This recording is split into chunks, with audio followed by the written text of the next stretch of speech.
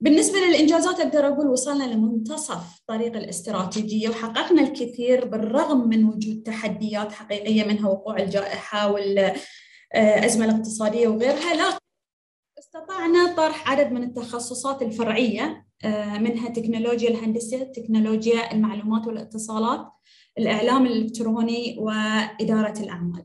كذلك حاليا إحنا نعمل آه، على إعداد ودراسات تخصصات رئيسية إن شاء الله راح تنطرح في المستقبل القريب. من الإنجازات تم دمج مخرجات تعلم معنية بالمهارات الوظيفية في كل آه، فرص التعلم اللي تطرحها المؤسسة. والجدير بالذكر